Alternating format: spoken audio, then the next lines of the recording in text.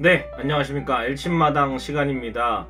홈 6연전 주간입니다. 삼성과 두산의 어, 또 6연전이 기다리고 있습니다. 그래서 이 삼성 두산 상대 전적 앞서 있지만 그래도 방심을 항상 하면 안 돼요. 순위도 솔직히 우리보다 낮긴 하지만 어떤 경기가 또 펼쳐질지 모르기 때문에 지난주에까지 이제 부진한 거를 또 잊어버리고 어, 올 시즌 이번 주부터 다시 올라가야 되는 시기라고 생각을 합니다. 다시 홈으로 와서 선수들이 경기를 치르게 되겠는데 분위기 반전의 일요일 경기 어느 정도 성공을 했지만 그래도 이제 삼성도 어, 롯데와의 경기에서 위닝 시리즈를 달성을 했기 때문에 굉장히 또 까다로운 상대라고 생각을 하고요. 또 이제 뷰캐넌과 최채영 선수가 나오기 때문에 선발 공략 무조건 해야 될 필요가 있어 보입니다. 그래서 오늘은 삼성전 프리뷰와 또 일요일날 7타점을 올린 문보경 선수의 인터뷰를 준비했습니다. 엘친마당 화요일 순서 힘차게 출발해 보도록 하겠습니다.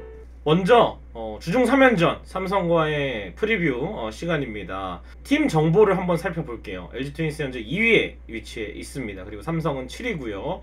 직전 시리즈 한화의 경기 sweep을 당할 뻔했습니다만 일요일 경기를 승리로 거두면서 다행히 한숨 돌린 LG 그리고 이제 롯데를 상대로 첫 경기를 내줬지만 반대로 주말 시리즈는 모두 잡아내면서 그래도 어느 정도 어, 연승 또 달리면서 삼성이 돌파구를 좀 마련했다 이렇게 볼 수가 있겠습니다. 그리고 이제 선발 순서는 양 팀이 화요일에는 플러코와 최채영이 확정이 됐고요.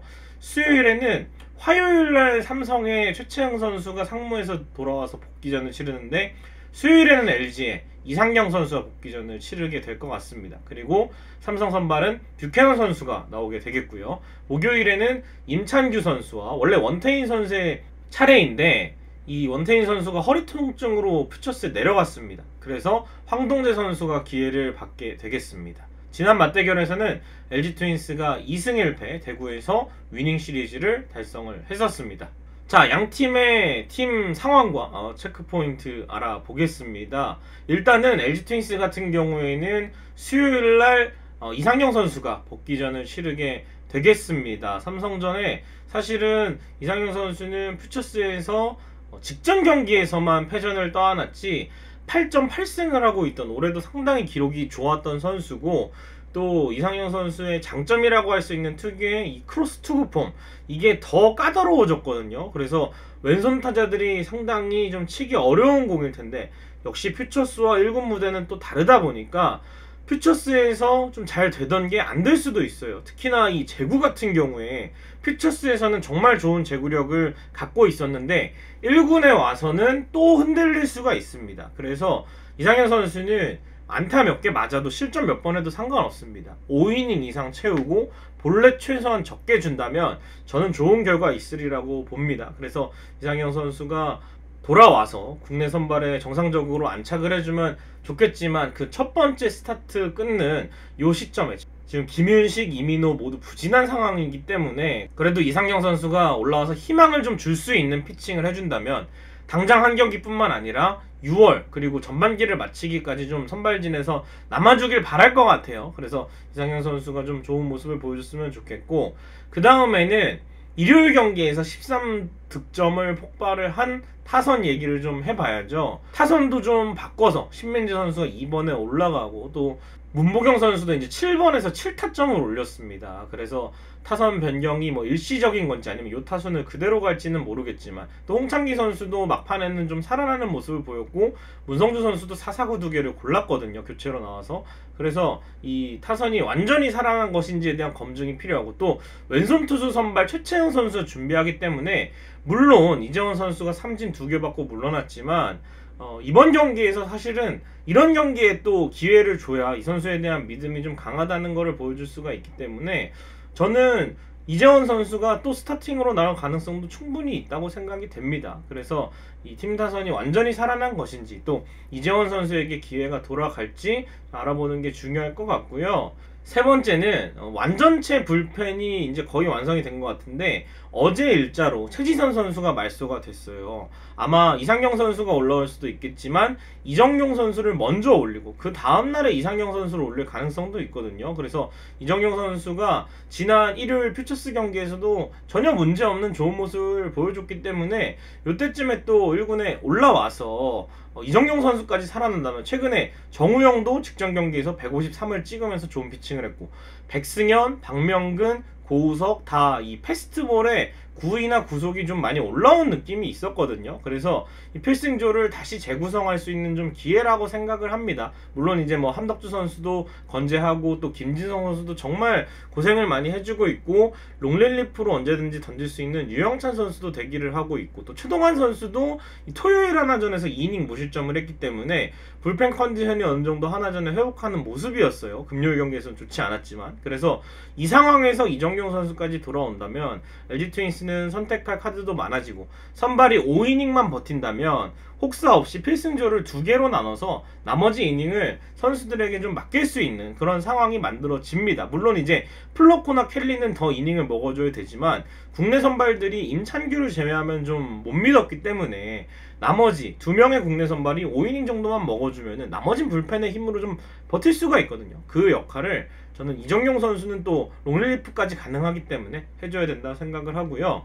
마지막으로 이제 LG가 국내 왼손 투수 선발에 좀 약한 경우들이 있는데 최채영 선수도 거기에 좀 해당합니다. 최채영 선수가 상무에서는 사실은 이상영 선수보다는 좋은 성적은 아닙니다만 그래도 LG 상대로 좋은 데이터가 있기 때문에 우리가 최채영 선수도 사실은 얼마나 던질지는 몰라요. 어, 짧게 던지고 내려갈 수도 있고 다음 날이 왜 뷰캐년이기 때문에 어, 짧게 내, 던지고 좀 내려갈 수도 있고 이 팀 상황에 따라서 박진만 감독이 투수 교체를 좀 빨리 가져갈 수도 있겠지만 어쨌든 이 최채영을 상대로 어떤 모습을 보일지가 상당히 좀 중요한 것 같습니다. 그리고 이제 무엇보다도 이 박혜민 선수가 그래도 최채영 선수의 공을 좀 잘 알기 때문에 저는 최채영 선수 공략하는 데 있어서는 박혜민 선수도 어느 정도 좀 지분을 좀 차지를 해줘야 된다 이렇게 보시면 될 것 같고요. 또 다른 선수들, 또 오스틴 선수라든지 박동원 선수라든지 이런 오른손 타자들이 좀 좋은 역할을 해준다면 최채영을 상대로도 팀 타선이 괜찮지 않을까. 그래서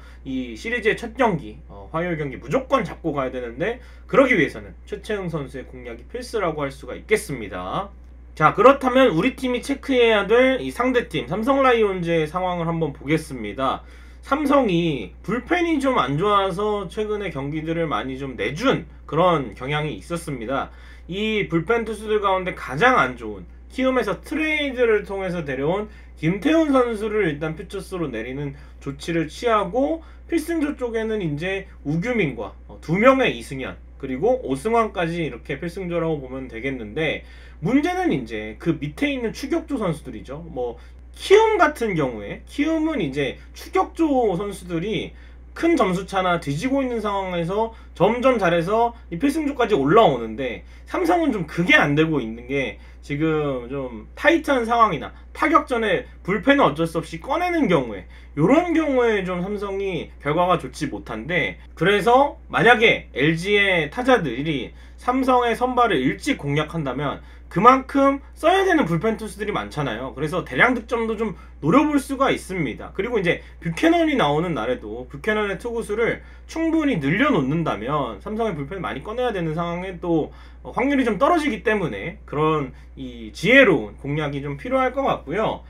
두 번째는 지난 맞대결에서는 김재성 선수가 부상으로 빠져 있었는데 최근에 또 1군에 복귀를 했죠. 복귀에서는 뭐 타율이나 에버리지나 뭐 지표상에 그렇게 높지는 않습니다만 이 LG전에 2022 시즌에는 좀 강했어요. OPS가 1.021 어, 굉장히 높은 그런 지표를 보였기 때문에 김재성 선수를 이 데이터를 보고 LG전에 지명 타자로 활용을 할지 아니면은 기존에 하던 대로 뭐 3포수 중에 일원으로 좀 쓸지는 좀 두고 봐야 될 것 같고 김태군 선수도 LG전에 굉장히 강합니다. 이 LG 출신 삼성 타자들이 LG전에 좀 강한 모습을 보여주고 있는데 어쨌든 이 김재성과 김태군 이 두 선수를 좀 주의를 해야 될 것 같고요. 또 구자욱과 원태인의 공백이 있는 삼성인데 이 대체자들의 활약 여부가 중요합니다. 중견수 쪽에서는 김현준 선수 활약을 해주고 있고 또 피렐라가 외야를 지키고 있지만 구자욱이 봤던 우익수 자리에는 계속해서 여러 명의 선수들을 테스트하고 있는데 사실은 좀 마땅치가 않죠 자원이. 그래서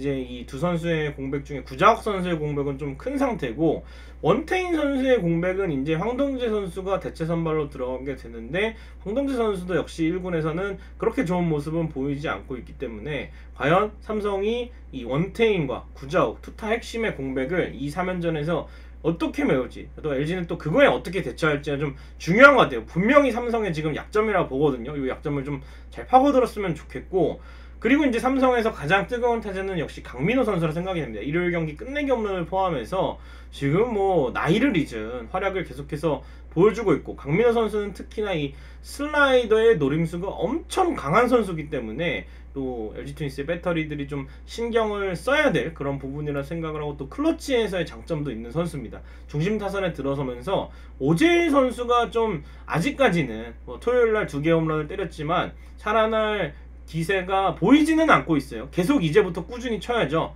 근데 이제 오재일 선수도 큰 기대를 좀 하기 어려운 상황에서 앞쪽에 들어서는 이제 피렐라나 강민호를 주의한다면 오재일 선수도 어 좀 더 압박감이 더 심할 거예요. 만약에 이 두 선수를 못 막아서 오재일 선수한테 찬스가 넘어온다면 오재일 선수가 이제 토요일에 홈런 두 개를 쳤잖아요. 일요일에 침묵하긴 했지만 그래도 감은 어느 정도 살아 있으면은 무한타를 치다가도 어쩌다가 장타를 하나 딱 칠 수가 있기 때문에 그런 부분들도 좀 주의를 해야 되고 그러기 위해서는 또 강민호 선수를 철저하게 좀 틀어 막았으면 좋겠습니다. 이렇게 삼성의 체크 포인트까지 알아봤습니다.